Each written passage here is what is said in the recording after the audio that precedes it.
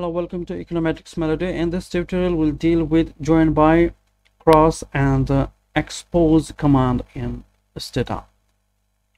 Let's begin with this main Stata interface active is time press Control 8 for activating data editor and Control 9 for activating to file.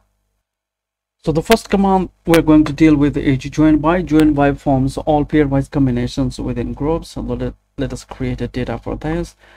Um, the first data set it contains province. The variables it contains are province district question one and question three. So let us create and save this by the sort abbreviated form of province and district.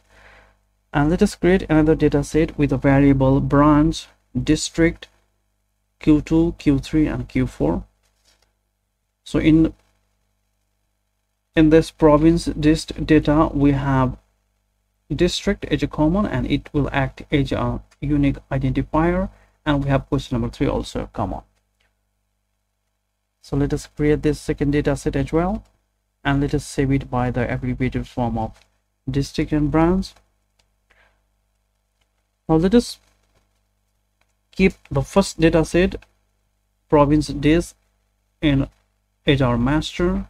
And let us join this using district and branch and here district is our common identifier. And let us see what happens. And let us sort it for appropriateness. So these variables province district question number one and question number three they are the variables from first data set or province this data set and uh, district branch q2 and q4 they are the variables from second data set or this branch data set. Now let me explain this. This is very simple. We know joinby it forms all pairwise combinations in groups. So if you say they are equal the only difference is this branch. So for this district we have this province and the, the branches are different. So basically for this different group we are assigning the same value the legitimate value okay? And let us again group this.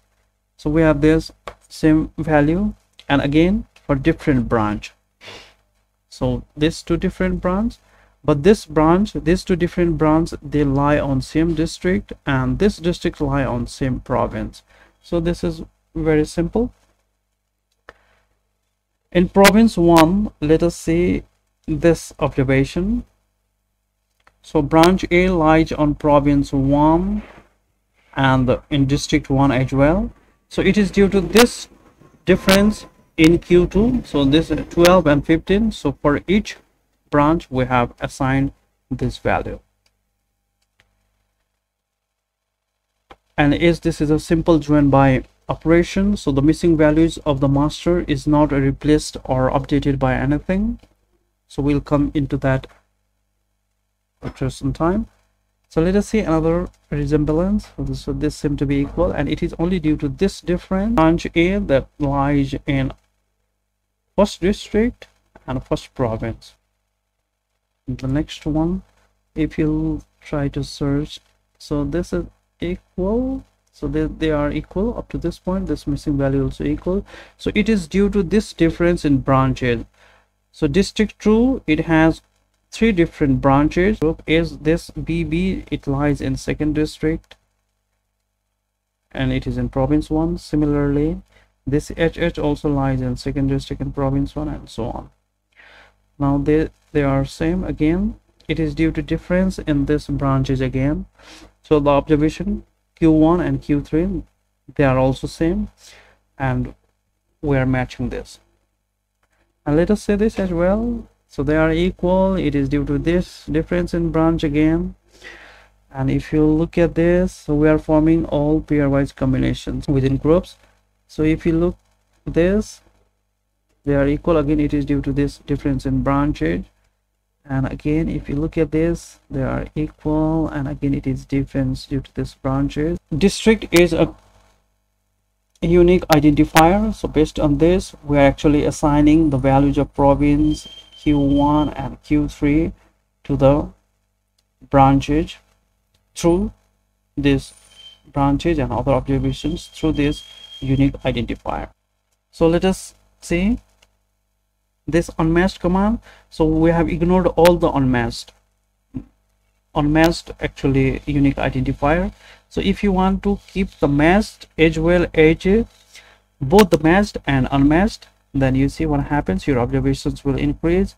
And for the description you can say this take help of this command. So only in using data. So this observation is only in using data. And uh, this observation is only in master. So this is the observation only in master. And this observation is only in master. This is very simple. And if you want to see matched and masters the observations that are perfectly matched with the unique identifier as well as the observation that is only in master. So this is the data set. We have only 24 observations now. And if you want to see the matched and observations that are matched with and those are only in using that is second data set. So if you say this so this is only in using this observation is only in using rest of them are the perfect match with the unique key identifier or unique identifier in both of the data sets. Now let us try some of the variations again. So let us again try a simple joinby and save it by joinby simple. So there is a perfect match of the unique key identifier a unique identifier and we have not taken anything that does not match with the unique identifier in both of the data sets. Now let us use the update command update. So what happens? So age in the case of merge so any value that is missing in the master that will be updated with the values from using for the same variables in both the data sets so pay attention to this q3 this q3 variable it is present in both the data sets. The missing values are updated. So these missing values were updated and we have saved this by the name joinby update. And let us now update and replace. So the common variables in data set first and second this the values will be updated by the values in second data sets. so let us run this. And please pay attention to the variable q3 see? These were updated. And these values were missing in both the data sets. Again review this. This was our first data set. This was our second data set. And we used a simple joinby command. So the our master data set was first this. And our using data set is this. So the simple joinby command resulted in this data set or values. Then after the joinby with update it resulted in this value. The missing values are updated. And update and replace this will replace it this will fill the missing values also as well as replace the values in the common variables by the values of second data now let us try our next command that is cross. It forms every pairwise combination of two data sets so let us create two data sets the first data set it contains three variables with four observations and the second variable it contains two variables with four observations. Now if we run so let us use our first data set that contains three variables and four observations is our master and let us use the command cross and we use our second data set that we have saved earlier this data set for using okay? And let us see what happens and let us save this result as well. And we had used this as our first variable sorry first data set this is our second data set and we this is the result after using cross. So let me explain this. First of all let us sort it and it will be very easy so what does this do? Again cross function cross command. This will form every pairwise combinations of two data sets. So if you see this is the first observation. A 12 and 10 this is the first observation in first data set and that is combined. Actually we formed a pair with the this is the second entire second data set. So each observation in the first data set this forms pair with the entire second data set so this is our third observation and this forms a pair with the second data set actually a combination. And this is our last observation and it forms the pair or it is combined with the entire second data set so this is also very simple. Now let us try our next command xpose. So it is something like transpose. It uh, converts columns into rows and rows into columns. So this is our first data set. And if we xpose it so the row will be converted into column and column will be converted into row. Let us see what happens.